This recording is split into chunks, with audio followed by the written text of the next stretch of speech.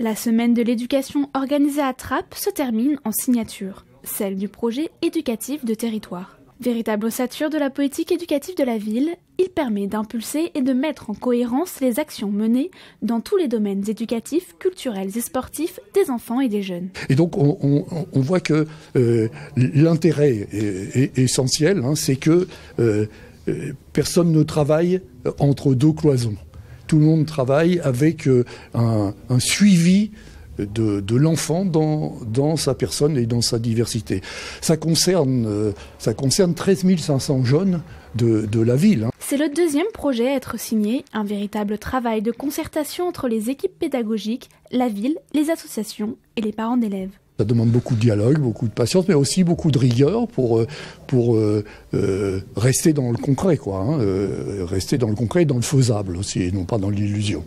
Et moi, je suis frappé de voir la richesse et la densité de tout ce qui est offert à Trappes. Directeur de l'Académie de Versailles, préfet et directrice générale de la Caisse d'assurance familiale des Yvelines étaient présents pour montrer leur soutien au projet. L'éducation à Trappes, c'est le cœur et, c'est pour cela que nous sommes là. Et nous avons voulu euh, à la fois marquer la volonté des services de l'État et ceux de l'éducation nationale particulièrement de soutenir tout, tout cela.